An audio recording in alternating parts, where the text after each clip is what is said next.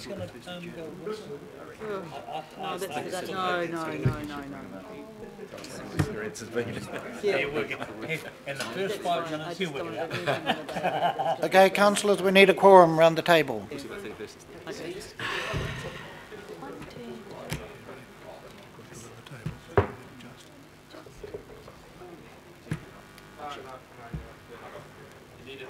This should be easy.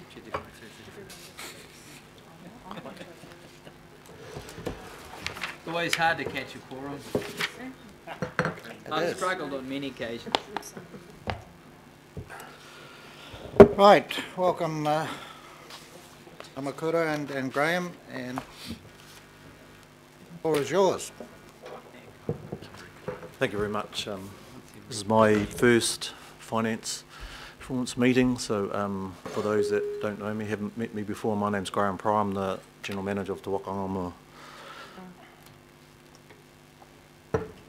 The Te project, um, or area, is um, one of the council has um, set aside you know, investment in things Māori, transformational outcomes for Māori, and uh, we're reporting that on, this on the third quarter. Um, As you can see in the executive summary, um, first two areas, the Whairawa and Whaipainga, are running at 63% of our budget spend up to the end of this third quarter.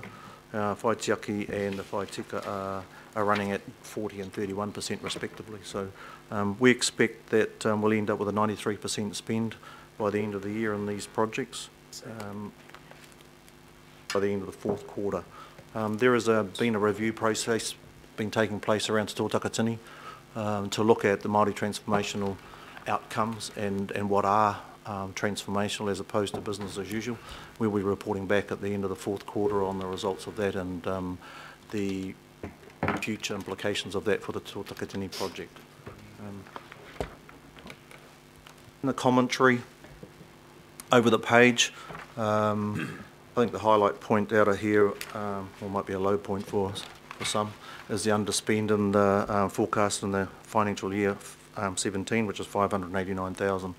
Um, there are a few projects that we've highlighted in the report that are um, the result of that. And um, in our monitoring and reporting back to the Performance um, Committee, you know, we've had um, significant uh, engagement with the various parts of council that are running these Te projects, and uh, that's our, our best estimate of where we're going to be at the end of the year. I think I'll leave it at that, Chair, and see if there's any questions.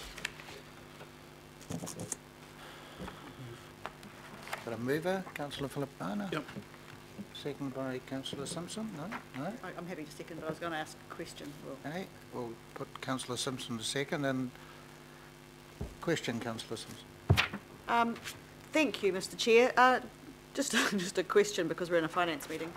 You do know that you're not necessarily have to meet your 100% target on spend against budget, don't you? Yes, and that's um, definitely part of this. You know, the departments and the um, areas of council are, are well aware of um, being efficient with the money and being effective, and so it's not a not a given that everybody has to spend all their money. It's um, it is an indicator that we have to report back to IMSB on, which is why um, why we highlight the budget against uh, actual spend.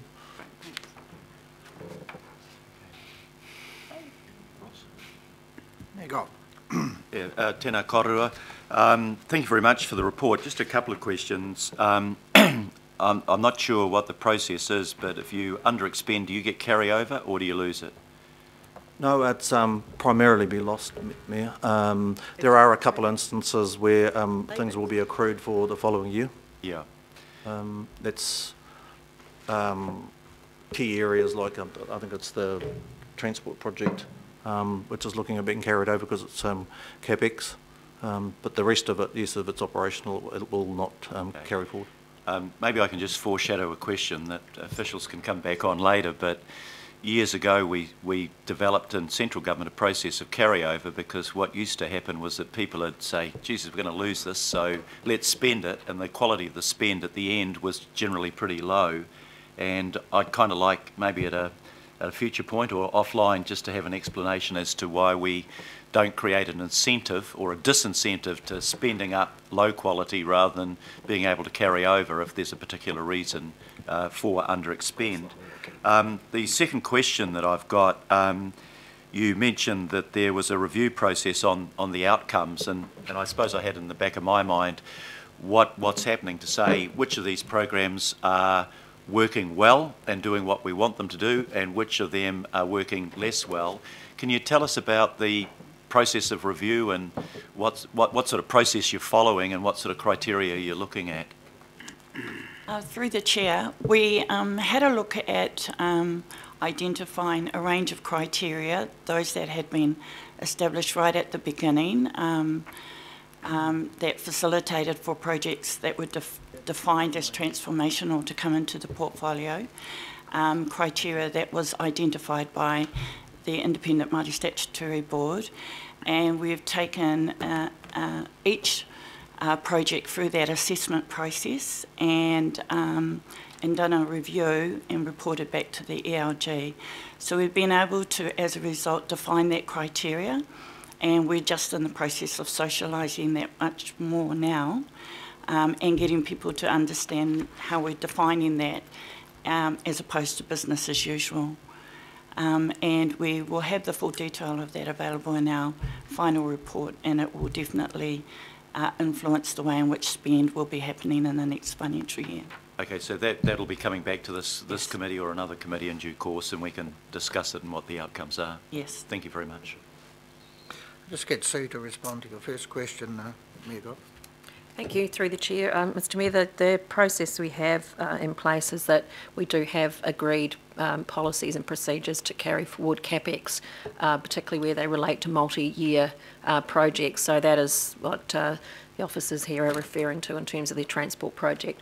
With respect to your second question around OPEX, uh, the requirements that we have of a balanced operating budget means that we spend, we monitor all spend very closely throughout the year, and that any underspend, whether it be in Takitini or another operating area, operating budget of council, is not carried forward. Essentially, what that becomes is that that um, it, it forms part of our savings targets and our efficiency budgets that must be achieved each year to balance that target. I can take you through the detail of that offline if you, you'd like me to.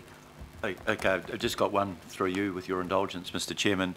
How do you, given that you, I understand why you do it like that, but don't you have the disadvantage that each department would be keen to spend up at the end of their financial year for fear that uh, if you don't spend up fully, um, the ELT will say, well, we obviously gave you more than you needed last year, so you'll get less next year as well. I mean, how do you how do you line the incentives so that people are spending wisely without fear that that will detract from their future funding? Again, uh, through the chair, I understand your question. The way that we do that is that the savings um, and efficiency targets that we have to achieve to balance the budget are actually allocated out against each ELT member. So they, if you like, the expression is they have skin in the game. That's the question I was going to ask. Right, we have a mover and a seconder for the report. Um, All those in favour? Aye. Engaged? Thank you, Graham. Thank you, Chair. Right, painless?